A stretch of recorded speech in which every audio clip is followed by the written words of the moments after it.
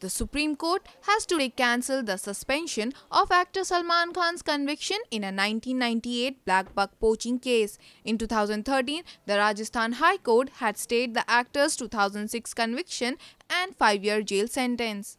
The top court has reversed the order which means the actor cannot travel to the UK as the country does not give a visa to those sentenced to 4 years in jail. The court has however said that Khan can approach Rajasthan High Court and seek relief if he really needs to travel abroad. Khan was convicted in 2006 for hunting and killing endangered deer while shooting for his film Hum Saath Saath Hain in Rajasthan in 1998. He was sentenced to 5 years in jail and is currently out on bail in the case.